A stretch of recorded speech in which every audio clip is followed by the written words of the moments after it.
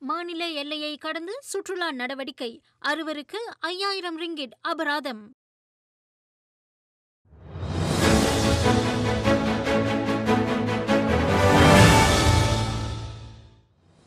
September இருபத்தைந்தாம் தேதி நள்ளிரவு வரையிலான தரவுப்படி நாட்டில் மேலும் இருநூற்று இருபத்தி எட்டு பேர் கோவிட் நைன்டீன் தொற்றினால் உயிரிழந்திருப்பது உறுதிப்படுத்தப்பட்டுள்ளது. அதனைத் தொடர்ந்து அத்தொற்றுக்கு பலியானவர்களின் மொத்த எண்ணிக்கை இருபத்தைந்தாயிரத்து நூற்று ஐம்பத்து ஒன்பது என கோவிட் நவ் அகப்பக்கத்தில் தரவு வெளியிடப்பட்டுள்ளது.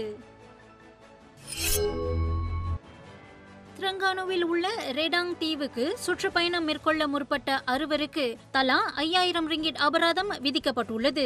கொலலும்பூர் ஸ்லாங்கூர் பினாங்கு மிளாக்கா ஆகிய மாநிலங்களைச் சேர்ந்த அவர்கள் சாலை தடுப்பு சோதனையின் போது பிடிபட்டனர். தேசிய மீட்சி திட்டத்தின் மூன்றாவது படிநிலையில் உள்ள மாநிலங்களில் அதன் எல்லைகளுக்கு உட்பட்டு சுற்றுலா செல்ல மட்டுமே அனுமதி உண்டு என திரங்கானு மாநில போலீஸ் தலைவர் ரத்தோ ரொஹைமி மட் இசா தெரிவித்துள்ளார். ஆப்கானிஸ்தானின் புதிய அரசாங்கத்தை மலேசியா இன்னும் ஏற்றுக்கொள்ளாவிட்டாலும் அந்நாட்டிற்கான மனிதநேய உதவிகள் தொடரப்படும் என வெளியுறவு அமைச்சர் டாத்தோ சைஃபுடின் அப்துல்லா தெரிவித்துள்ளார். நாற்பது ஆண்டுகளுக்கும் மேலாக பல்வேறு கொடுமைகளுக்கு இலக்காகி வரும் அந்நாட்டு மக்கள் நடப்பில் எதிர்நோக்கியுள்ள நெருக்குதலை கருத்தில் கொண்டு மலேசியாவின் உதவிகள் தொடரப்படும் என்றார் அவர். தமான் ஸ்ரீகோம்பா இரண்டு தேசிய பள்ளியில் சுமார் நான்கு மீட்டர் நீளத்தில் காணப்பட்ட மலைப்பாம்பு பிடிக்கப்பட்டு பொது தற்காப்பு படையிடம் ஒப்படைக்கப்பட்டுள்ளது.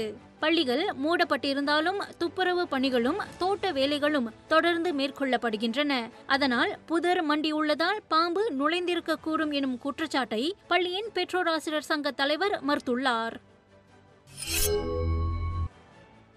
தண்டவாளத்திலிருந்து ரயில் ஒன்று தடம் புரண்டதில் குறைந்தது மூவர் உயிரிழந்தனர். அதிகமானோர் காயங்களுக்கு இலக்காகியுள்ளனர். அமெரிக்கா மொந்தானாவில் நிகழ்ந்த அச்சம்பவத்தின் போது ரயிலில் நூற்று நாற்பத்தி ஏழு பயணிகளும் பதிமூன்று ஊழியர்களும் இருந்ததாக தகவல் வெளியிடப்பட்டுள்ளது.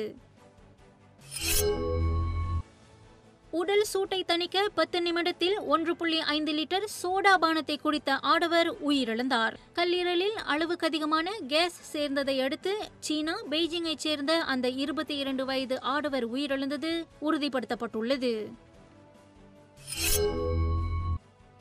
பனிரெண்டு ஆண்டுகளுக்கு பின்னர் ஓல்ட் ட்ராஃபர்ட் அரங்கில் முதல் வெற்றியை பதிவு செய்தது எஸ்டன் விலா.